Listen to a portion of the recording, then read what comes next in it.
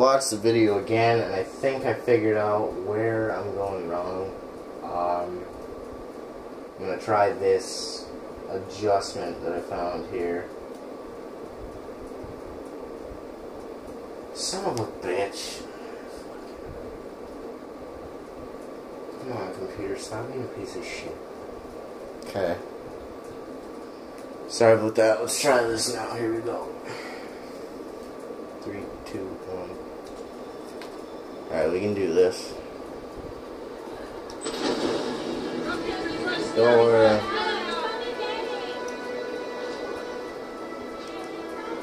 You kind of like, I don't know, I guess you kind of have to just walk a little. You have to move around a little bit and make sure they can't see you, I guess. And then hit them with it.